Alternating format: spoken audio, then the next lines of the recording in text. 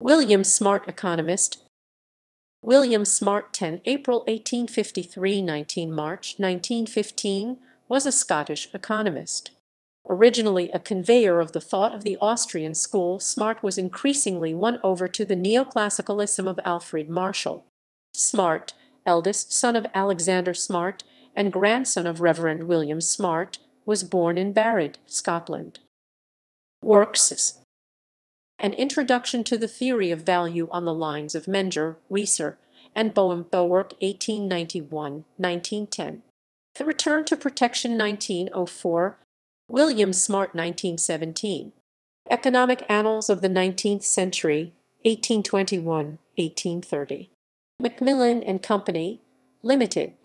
William Smart 1883. John Ruskin, His Life and Work. Wilson and McCormick. William Smart 1895. Glasgow and its Municipal Industries. The Quarterly Journal of Economics.